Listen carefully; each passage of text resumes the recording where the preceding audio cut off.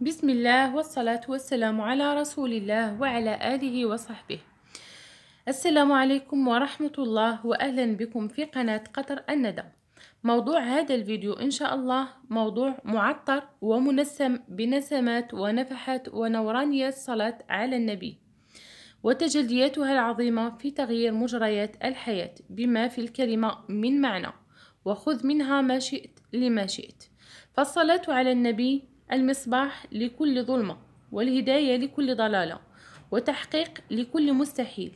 وكيف لا؟ وهو النبي المبعوث والرسول المرسل رحمة للعالمين. هو من أخرجنا الله به من ظلمات الجهل والضلالة والكفر والشرك إلى نور الحق والبيان والهداية والرشاد برسالته الإلهية الهادية إلى الصراط المستقيم. فدعا الناس إلى الله ربهم لا يطلب منهم على ذلك أجرا أو مقابلا وتحمل في سبيل ذلك الأذى الكثير والذي لا يقوى بشر ولا يستطيع تحمله. فالله سبحانه من اختاره واصطفاه وهو العليم العالم من اصطفى. خير البشرية وخير البرية عليه الصلاة والسلام والذي اقترن اسمه بسم الله في معظم آياته وفي الأذان وفي الصلاة لقوله تعالى وما أرسلناك إلا رحمة للعالمين. وقوله سبحانه لقد من الله على المؤمنين إذ بعث فيهم رسولا من أنفسهم يتلو عليهم آياته ويزكيهم ويعلمهم الكتاب والحكمة وإن كانوا من قبل ذلك من قبل ذلك لفي ضلال مبين. وآيات عديدة أخرى.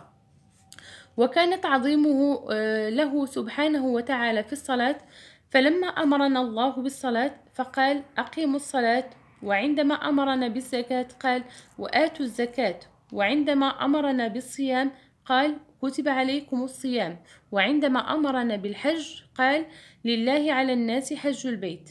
فكان توجيهه سبحانه للأمر توجيها مباشر. لكن عندما جاء بأمر الصلاة على النبي قدمها أولا أنه سبحانه بنفسه يصلي عليه وملائكته لقوله سبحانه إن الله وملائكته يصلون على النبي. يا أيها الذين آمنوا صلوا عليه وسلموا تسليما. يعني قبل ما يأمرنا بالصلاة على النبي حبيبه ومصطفاه بين لنا أنه بنفسه وملائكته يصلون عليه. ثم جاء الأمر لنا بالصلاة والتسليم عليه وسلموا تسليما. يعني تأكيدا للصلاة والسلام عليه لأنه صلى الله عليه وسلم يسمعنا. ولذلك شرع في كل صلاة وفي كل تشهد نسلم على رسول الله وبكيفية الخطاب الذي يتأتى منه الرد والخطاب من المخاطب. فنقول السلام عليك أيها النبي وليس عليه لأن الغائب من نقول عنه عليه. أما الحاضر فنقول عليك يعني السلام عليك بصفة الحاضر. فهو يسمع يسمع السلام ويرد السلام. ومن أجل ذلك بين الله فضل الصلاة والسلام على, الرسول على رسوله فهو حبيب الله وهادي البشرية وشفيع الخلق ذو القلب اللين والطبع النبيل والسماحة وخلق القرآن العظيم. ومن هنا يظهر حب الله لنبيه. وطبعا من أحب حبيب الله نال شرف حب الله. فحب الله لنبيه عظيم وقدره عنده أعظم. وقد تجلى ذلك كذلك في رحلة الإسراء والمعراج. عندما توقف سيدنا جبريل عند سدرة المنتهى فقال له رسول الله أفي هذا المكان يترك الخل خليله؟ فقال سيدنا جبريل يا محمد لكل منا مقام معلوم فلو تقدمت أنا لاحترقت ولو تقدمت أنت لاخترقت. تقدم يا محمد. فيحس النبي صلى الله عليه وسلم برعشة شديدة. فيقول التحيات لله والصلوات الطيبات فيرد الله عليه عليه عليك السلام عليه السلام فيرد الله آه، على النبي آه، السلام عليك أيها النبي ورحمة الله وبركاته. فيرد النبي السلام علينا وعلى عباد الله الصالحين. فيقول سيدنا جبريل والملائكة, والملائكة أجمعين نشهد أن لا إله إلا الله وأن محمد رسول الله. فيقول آه، فيتساءل آه، النبي صلى الله عليه وسلم أين أنا يا رب؟ في فيقول الله سبحانه وتعالى أنت يا محمد على بساط أنس الله تقدم. فيقول يا رب إني سائلك فيقول الله يا محمد أنا ملك الملوك وقاضي الحاجات. من دعاني أجبته ومن وقف على بابي قبلته ومن سألني أعطيته. اسأل يا محمد. فيقول يا رب لقد اتخذت إبراهيم خليلا وكلمت موسى تكليما ورفعت إدريس مكانا عليا وأعطيت سليمان ملكا عظيما وسخرت له وسخرت له الجن والإنس والريح والطير وخلقت عيسى من روحك. ففيما فضلتني بين هؤلاء وما تكريمك لي يا رب؟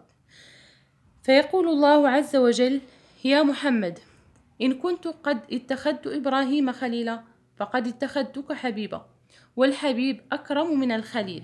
وإن كنت كلمت موسى تكليما فإنما كلمته من وراء حجاب. أما أنت فعلى بساط أنس الله وإن كنت رفعت إدريس مكانا عليا فإنما رفعته إلى السماء الرابعة.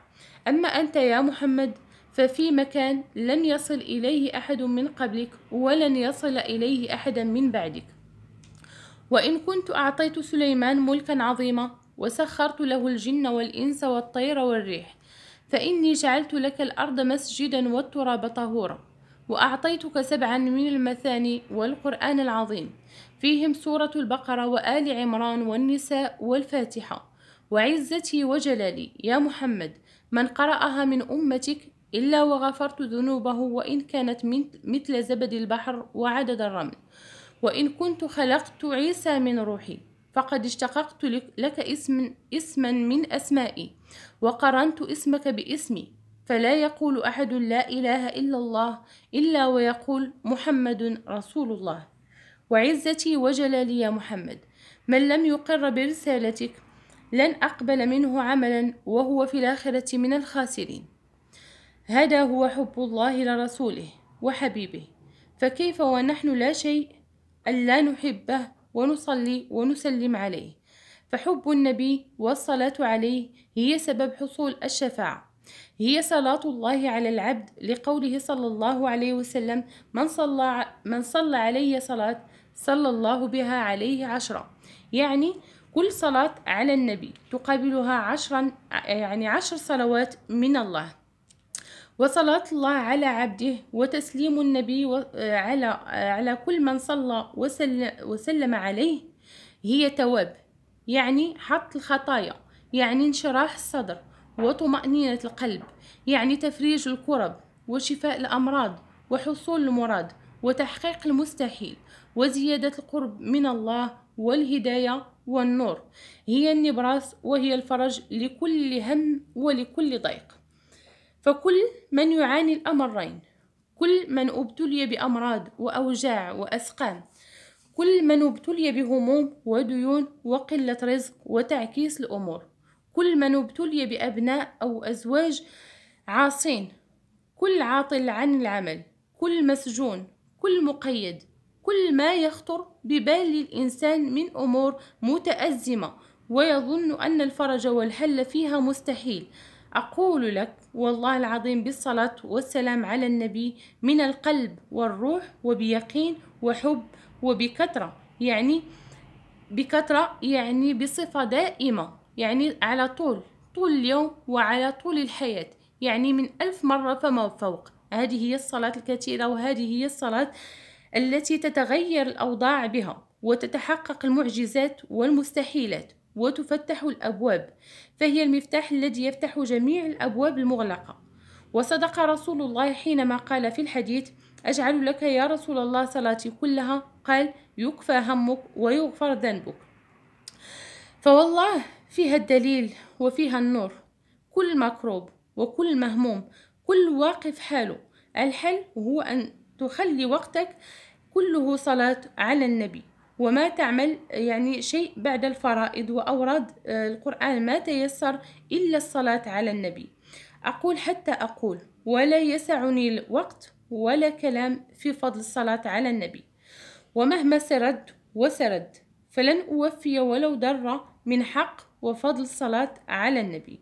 فاللهم صل وسلم على سيدنا محمد بقدر عظمة ذاتك في كل وقت وحين. وصل اللهم وسلم على صاحب التاج والمعراج سيدنا محمد وعلى آله وصحبه وكن بنا وبالمؤمنين رؤوفا رحيما. وصل يا رب عليه صلاة تملأ خزائنك, خزائنك نورا. وتكون لنا وللمؤمنين فرحا وفرحا وسرورا. وصل اللهم على السر الساري والنور الذاتي في سائر الأسماء والصفات. وصل اللهم وسلم بأنواع كمالاتك في جميع تجلياتك. وصل اللهم وسلم على بدر التمام ومصباح الظلام ومفتاح دار السلام وشمس دين الإسلام محمد عليه الصلاة والسلام. وصل اللهم وسلم على عين الأعيان نقطة بداية الأكوان صلاة تذهب بها عنا جميع الهموم والغموم والأحزان. وصل اللهم وسلم على سيدنا محمد طب القلوب ودواؤها وعافية الأبدان وشفاؤها ونور الأبصار وضياؤها. عدد ما كان وعدد ما يكون وعدد الحركات والسكون. وصل اللهم وسلم على سيدنا محمد صلاة تنحل بها العقد وتنفرج بها الكرب وتقضى بها الحوائج وتنال بها الرغائب وحسن الخواتيم ويستسقى الغمام بوجهه الكريم وعلى آله وصحبه في كل لمحة ونفس عدد كل معلوم لك يا الله. واللهم صل وسلم على سيدنا محمد الفاتح لما أغلق والخاتم لما سبق ناصر الحق بالحق والهادي إلى صراطك المستقيم وعلى آله حق قدره ومقداره العظيم. فاللهم صل وسلم عليك يا سيدي يا حبيبي يا رسول الله. وخذ بيدنا فقد قلت حيلتنا. وها نحن نتوجه لله سبحانه عز وجل بك. فكلنا شفيعا على قضاء حوائجنا وتفريج كرباتنا. فصلوا على النبي والزموها. ففيها ما فيها. وخذوا منها ما شئت لما شئت. فهي الغاية وهي, وهي الوسيلة وهي المفتاح الفاتح لجميع الأبواب. فأوراد الصلاة على النبي لكل حاجة كثيرة.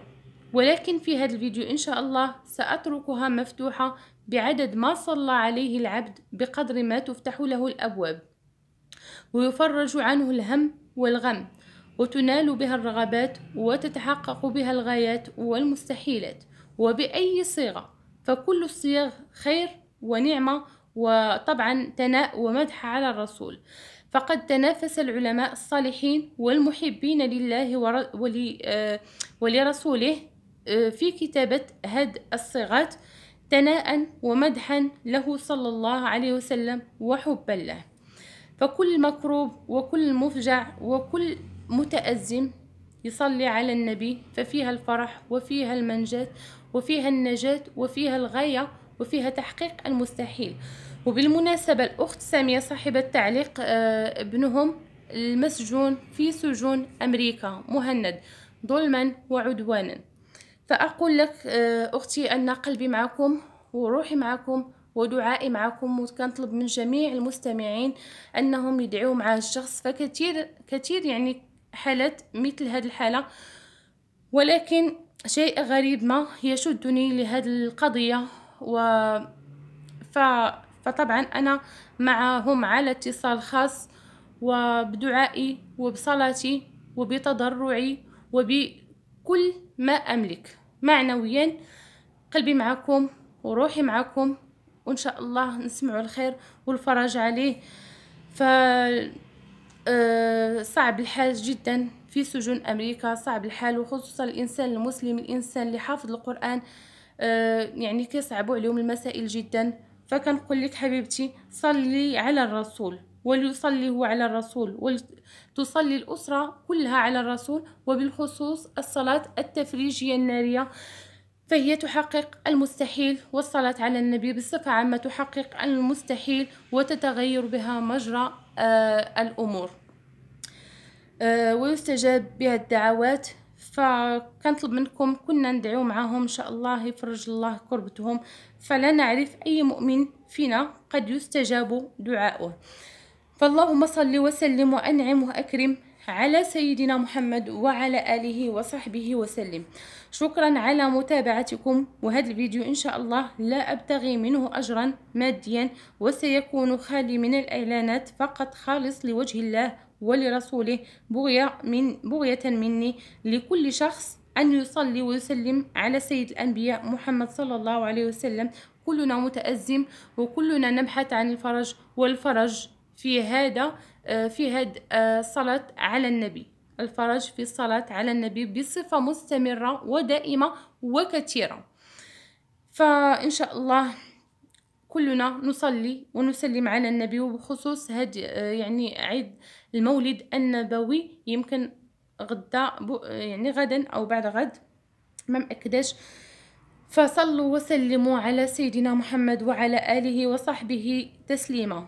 شكرا على متابعتكم والسلام عليكم ورحمة الله.